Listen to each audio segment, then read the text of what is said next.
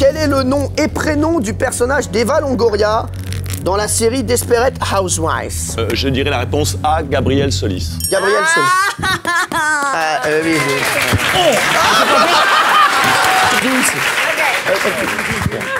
Ah, tu ne peux pas. Oh là là, il est comme un fou Voici la deuxième.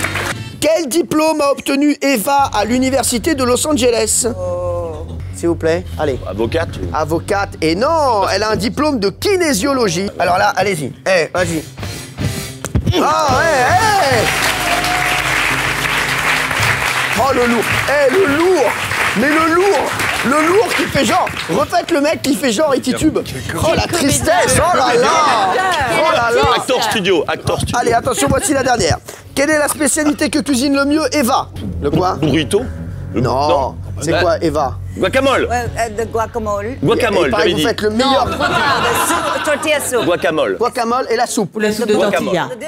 Les deux, c'est vrai. Il paraît que vous faites le meilleur guacamole du monde. Yeah. C'est ce qu'on m'a dit. Yeah. Bon, c'est bon, c'est bon, on s'en fout. C'est perdu.